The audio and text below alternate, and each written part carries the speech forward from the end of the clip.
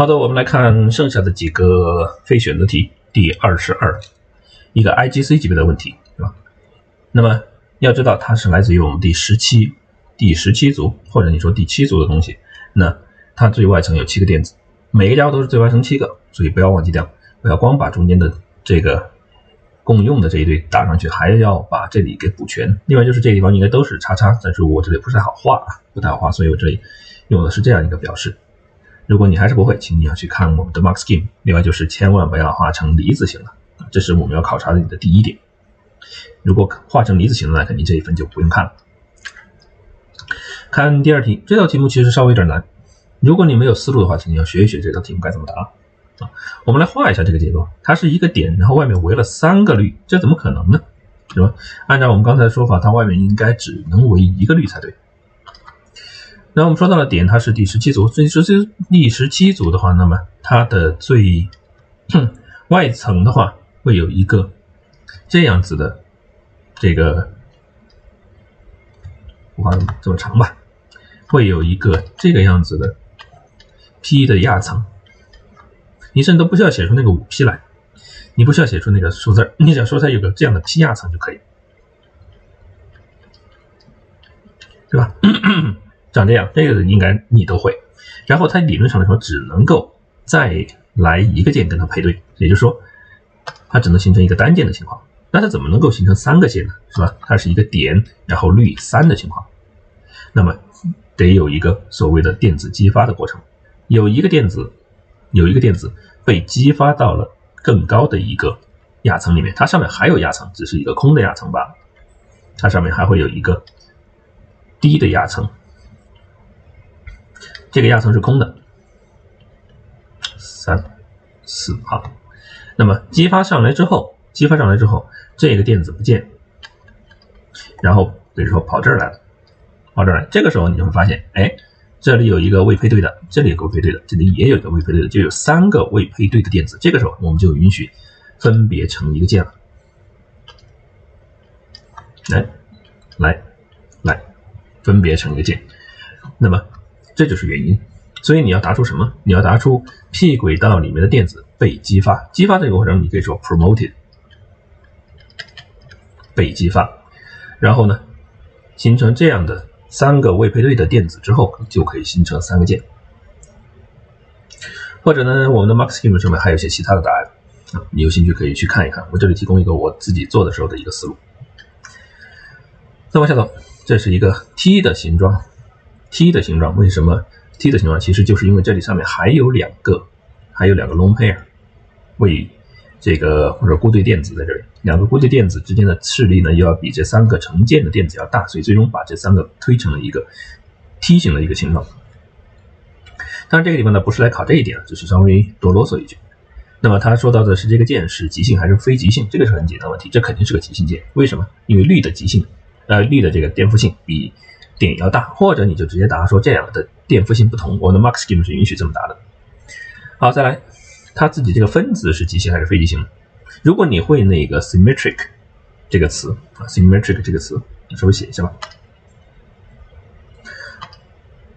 一个对称的东西是吧？symmetric。如果你会这个词儿，或者你会那个 asymmetric 它的一个否定的形态的话，那就用这个词儿。如果你觉得这个词对你来说难，是吧？太难了，那么我们也可以说它的这些呃 dipole 相互的抵消。我这里给出的是一个 overall dipole 是零，总的一个 dipole 是零，其实就是这个意思。它的 dipole 可以完全的互相抵消，所以它是呃它不能够 sorry sorry 不能够完全互相抵消，所以它是一个有极性的分子。好，再往后看颜色变化，那么点的。颜色变化，小心啊！它这个点的溶液，点的溶液颜色没有那么深。因为对于很多人来说，你的最初的印象点都是一个紫色，那紫色那个东西是不是点的水溶液啊？那点单质或者是一个有机化学有拿有机层里面或者有机的溶剂里面的点，那就可能会是一个紫色的。这地方呢，最好是拿黄色。黄色变成什么？是吧？这东西没有颜色，而这个东西的话，不要去瞎猜。不要瞎猜，如果你看到上面没有给你任何的提示，你先猜它无色啊，不要去瞎猜它，比如说绿色啊或者红色什么东西，你没有这个道理的是吧？一个变成无色的过程。好，再来，下面这个计算可能稍微难一点，这可能算是最难的一种这个关于呃滴定方面的计算了。那学学看，而且呢，就是算是这四分你拿不全，但是我觉得里面有两分你是肯定能拿到的。这里有它的一个浓度和一个体积，对吧？这是浓度，这是体积，所以这两个一乘你就知道，这会乘出一个这个有多少摩尔的它，有多少摩尔的它。同样的，这个地方也有。是吧？这是它的浓度，这是它的花了多少，这是体积，两者一乘也是一个多少摩尔，多少摩尔。你把这两个抬上去，都应该有两分了。好，那么我们来说说看怎么做这个事儿，怎么做这个事儿。我如果拿这个一乘这个，两者一乘，我就知道了这里硫代硫酸根离子的一个浓度，对不对？它的浓度我就知道了，它的浓度知道之后，就可以反推跟它反应掉的或者它滴定掉的碘的一个浓度。碘的浓度，除一个二就可以了，是吧？然后呢，知道了碘的浓度之后，碘都来自于谁？都来自于碘离子，来自于碘离子。然后你乘一个二，就是碘离子的一个这个量，碘离子的量。然后你这两个一乘，就是这个东西它的一个量。好，所以最终我们会发现，碘离子的量正好是这个东西的两倍，正好是它两倍。然后呢，我们就可以去做推断了。碘是从什么？碘是从负一价升高到零价，碘从负一 升高到零，升高到零。然后呢，我们发现这个地方是一个一比二的关系，对吧？一比二关系，一摩尔的它使得两摩尔的碘升高到零，两摩尔碘升高到零，就需要转移两摩尔的电子，转移两摩尔的电子。那么这个时候，它要转移两摩尔电子的话，它就会被降成正一，这个所谓的电子守恒啊，因此最后就变成了一个正一价，正一价。如果觉得这个很难啊，请你 把这个题目再做一做啊，再做一做，看看你在哪一步卡住了，卡住了。然后呢，当你呃看着我们的 Max Game 把它做通之后，你可以再做一遍啊，直到你对这个题目有了比较大的把握之后，下一次希望你能有思路了。这道题目确实是算起来可能难一点。来看第二十三，关于反应机率的问题，这个地方我就不一一画给你看了啊，应该很熟，应该很熟，考过无数遍了，啊？我们的 AS 阶段就那么几个机率，也是要有画图的，也就那么几个。每一次遇到的时候，请你去自己画一画。这地方我们看一下它的画法，比较有趣的是，它画了两个版本，都可以，是吧？一二三四，一二三四。那么这个地方的话，我们有两个画法，第一个就是我们没有中间产物的画法啊，然后这里是吧？一定要记住，从 lone pair 指向这里，然后要画出它的一些 dipole 出来，哪里是带有正电的，哪里是带有负电的，这个你一定要画上去。那么 lone pair 上去啊，然后这个地方形成一个新键，然后落出来个什么，是吧？有两个转移的 di，有两个转移的这个符号，这样的弯曲的箭头。另外一个就是我们还有一个带着中间产物的东西，也可以学学看。你可以学看它进攻它，然后呢，我们形成一个中间的产物，也就是这个键正在生成，而这个键正在断开，它形成了一个这个键还没要生成没生成，那这个东西要断没断的一个过程的中间产物，但这个很不稳定。然后呢，最终这个键完全断开，这个键完全生成，也可以学学看，是吧？好，我们接着往后，反应的类型。反正 nucleophilic substitution 没什么好说的，小心啊，它是两分，一定要把它是哪一种 substitution 要答得出来。你光答 substitution 是不得全分的啊，只得一分。同样的，你如果只答了这个，也只得一分，一定是两个词儿。好，再往后看，另外一种是吧？消去反应这一个，那对于他来说，对于他来说，首先首先要小心一点，就是如果你只是把，比如说。十八，好，我除以一个它，我得到这么多摩尔，得到这么多摩尔。然后呢，不要中了这个呃错误，就是你把这个摩尔，然后换成多少克，再拿这个克去除以它就不对了，这是不对的，这不是它的产率。如果你真的要按照这样去算，你还需要把这个多少克，这个多少克合起来再去除以它，合起来除以它。你说那不是不应该百分之百？不会啊，不会。它这一定是给你做好了伏笔的，不可能是百分之百的。那这种做法就稍微麻烦一点。不如的话呢，不如的话呢，用摩尔数，一摩尔的它能产生一摩尔的它，理论上。所以你如果算出来这个东西是多少摩尔的话，那么理论上来说，这个也是这么多摩尔，对吧？也是这么多摩尔。然后，然后你拿这个东西除以它的一个 mR，我们就知道理论上有这么多摩尔，理论上这么多摩尔，而实际上生成的是这么多摩尔，然后两者一比就是百分之十八点几，其实转化率不不高啊，转化率并不高。好，再往后走，下一个，下一个，这是一个其实可以做的实验啊，我希望你的学校实验室是可以让你们去做这个实验的啊。那么这三者，这三者。谁是最快的？显然是他。为什么？因为他的键是最弱的。啊，键最弱，为什么能看出键最弱？它们的尺寸那个点的尺寸最大，那么这个键就是最长。然后呢，越长的键啊，越长的键一般来说就是越弱的。来看 D 的这个，首先是根据它来写出它的 display formula。我这地方因为不好不方便画，我就给你画成了这个样子。要把所有的键是吧都表述出来，都表示出来，在。一个碳上有，一一一，小心啊，这么看哦，一一一，有一个碳上有两个氯，然后呢，有一个氟，另外一个上面是二上面二号碳上面有一个氯，有两个氟啊，所以一个碳上是两氯加一氟，一个碳上是两氟加一氯，要看得懂啊，不要傻乎乎的说啊，有一个是两氯加一氟，然后啊，另外一个是一氯加两氟啊。虽然说你可能画出来还是对的，但你的理解是不对的。好的，来看下一步，它是怎么样去作用到我们的臭氧层的？他他说到他说到了为什么我们的碳氟键不断，而碳氯键断？只要你能够答出这个题目来，我觉得这个题目就有把握。就有把握，因为你就会去判断他们这个键谁更容易断一些。我们会说碳氯键其实更容易断一些，而碳氟键这个键长更短，所以键强更大，它更不容易断。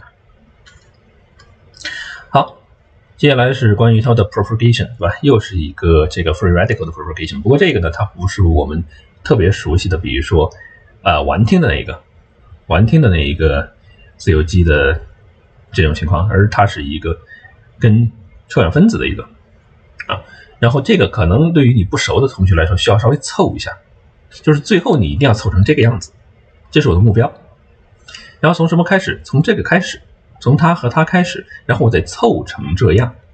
然后呢，你也知道一些指导规则，比如它肯定跟一个臭氧分子去反应，然后生成了一个带着这个呃叫做呃未这个未配对的这一个。未配对的电子的一个自由基啊，所以你稍微去凑一下，这个并不难凑，对吧？你最后你得得到两者加起来，加起来要把这个东西给消掉，没这个，对吧？没这个，那没这个的话，你最开始如果画了这个和这个的话，最后肯定你得有一步，第二步会生成一个氯的这个来啊。总而言之，按照这样的一些思路，你可以去凑一下，或者呢，把这个东西看熟，看熟，这就是它的一个作用机理，是吧？氯跟臭氧反应生成这么一个。自由基之后生成一分子的氧气，然后这个自由基又跟一分子的，因为毕毕竟这里是两分子啊，对不对？两分子啊，那么你还得再跟一分子的它反应，然后要凑出三个氧气来，对吧？氧分子出来，那就是两个它加上一个这个，然后你把两个加在一块儿，就可以回到这个总的上面来。好，接下来是 Butan，Butan 作为这个东西，它确实不会发生，不会发生，比如说自由基的这些事儿，但是呢，它也有问题，比如说。比如说，butane 是一个 greenhouse gas，这个东西我们在之前的考试的试卷里面评价也说到了。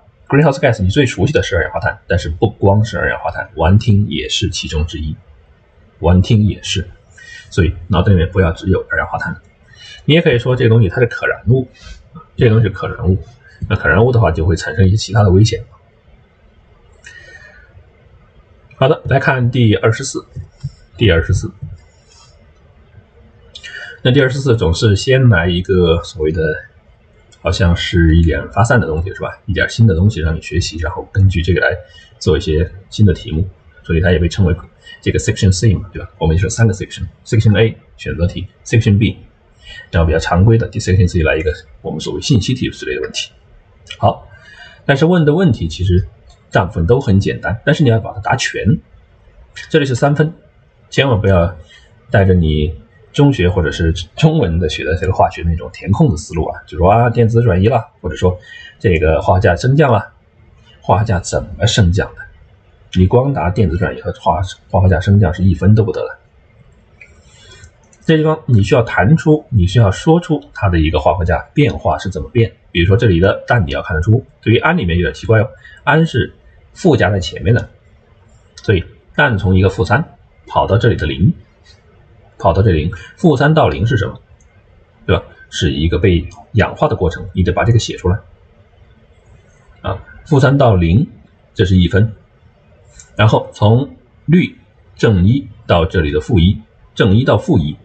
这是第二分，负三到零正一到负一两分有了，然后你得说出谁是被氧化，谁是被还原，啊，哪个是发生的氧化过程，哪个发生的还原过程，这是第三分。再说一次啊，这个东西是一分，这个东西是一分，然后这两个都说全了，都说对了，第三分，不要只说它发生了电子转移，这是不得分的啊。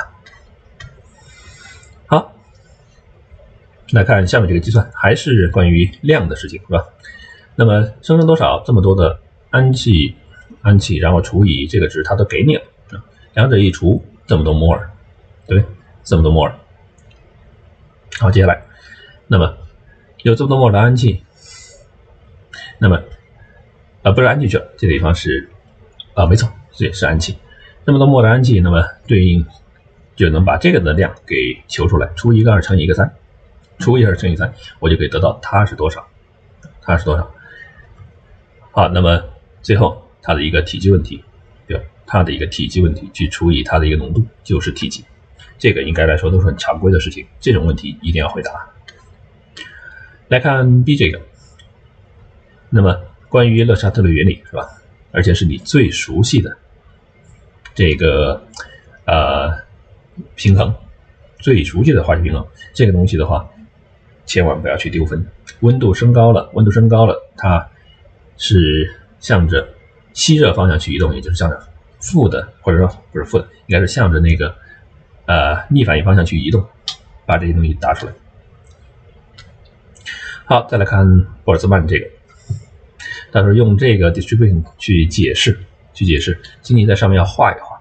我这里不太方便，不太方便，所以我没有把它画上去。那么严格来说，你需要把它画一画。我们在这里稍微画一下这个示意示意图吧。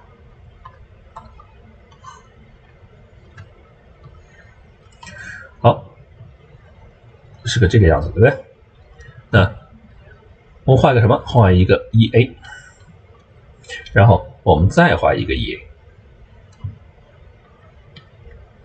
A，E A，或者你画一个这个情况也行，反正你这样也就是给答卷的老师呃或者判卷的老师给他了一个我知道是发生了什么事情。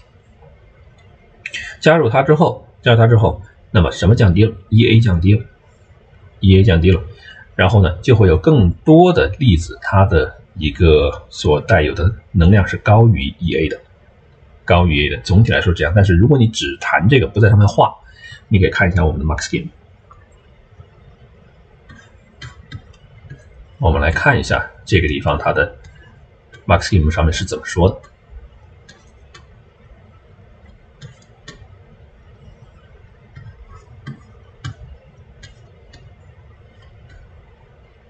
在这儿，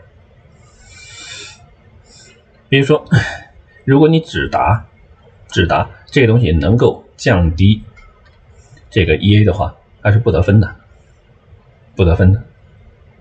那么一定要怎么？一定要在这个图上标出来，看见没有？一定要把它标出来。然后呢，如果他说你没有标出来的话，你得按照下面去答。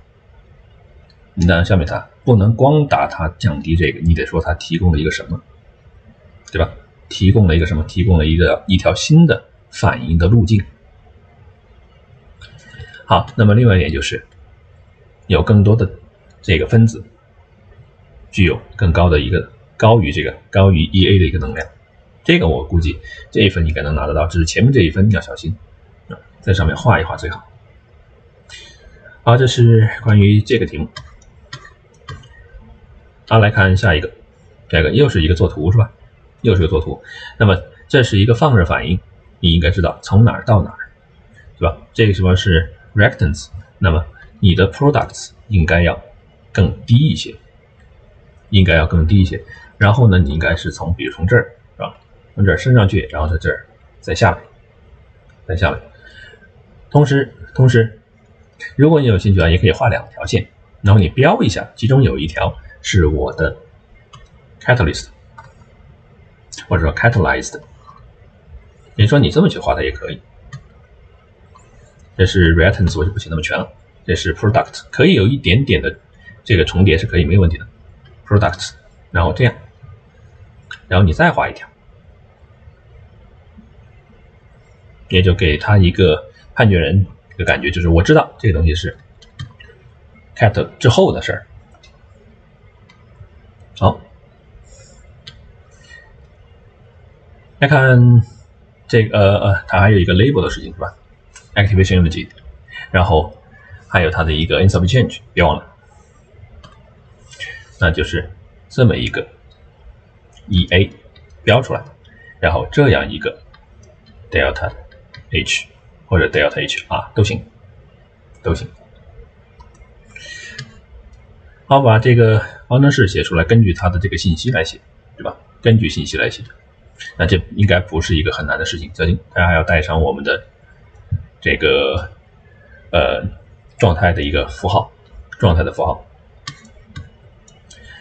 接下来我们看下一个，它的一个形状问题，是吧？这种东西应该成为你非常擅长的。虽然这回我们是一个新的东西，nitrogen trifluoride，是吧？有几个键？三个键，三个键在三个不同的区域上，同时有没有 lone pair？有，啊，有 lone pair，那么就是一个 trigonal pyramidal，是一个锥形的情况。那么怎么解释，对吧？怎么解释？小心，这是两点。如果你光说它是有几个 region，有几个键，然后有几个 lone pair，不全，不全，还得有一句话，别忘了，就是它们彼此间互斥，使得这个排斥力最小，排斥力最小，还要有这么一句话。好，我们来看最后一个问题，这四分，这四分，如果你要拿全也。不是特别容易，但是你至少应该能答对其中的一部分才对，尽量争取是吧？像这种论述的题目，去读一读我们的 Mark Scheme，然后尽可能的向它去靠拢。问题出在哪儿？问题在哪儿？为什么它们接近？接近的话，我们就去比较我们的这个分子间作用力吧，对吧？分子间作用力，它们有什么分子间作用力？比如这个家伙，它是由我们的 London Force，有。London force 和这个 dipole dipole 的有两个，而这个呢三种都有，London force 也有，dipole dipole 也有，然后是呃 hydrogen bond 也有。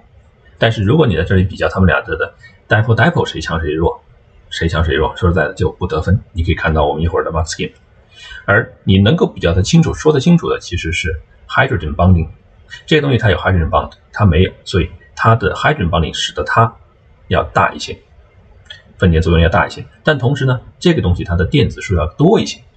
另外就是，另外就是这个电子数多少的问题，多少问题最好是把它算出来，有多少个电子，这个有多少电子，然后说这个的电子比它多，比它多的话，那么 London force 就比它大，所以它有 hydrogen bond，使得它好像要熔沸点更高一些，而它又有更强的 London force，所以这两个东西就相互彼此间有一定的抵消，有一定的抵消。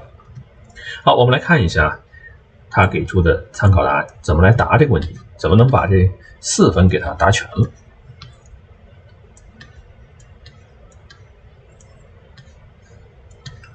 好，首先就是不要答什么，不要去比较他们的 permanent 一个大小问题。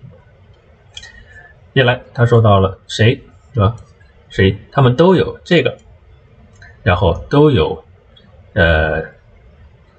这个呃，London force，那么我们就去比较一下 London force 的大小，London force 的大小，你会发现它的 London force，London force 的话，那么这个有一个比另外一个强，就因为它的电子数，就因为它电子数比它要多一些。当然这个地方他也提到了，他也提到了，你可以直接就说它比它的电子多一些，这个也可以，不一定非要去算。它的 maximum 上面是给出了一个计算出来的版本，而且这个地方。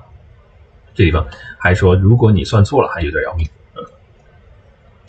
好，那么这是第二分，这是第二分，第三分，它还有个 hydrogen bonding 的问题，有一个家伙有 hydrogen bonding，然后是第四分，第四分有很多种不同的方案，比如说你就可以直接抬结论，那么总体的来说，总体来说，它们两者之间是相近的，总的所谓 intermolecular force，两者是相近的。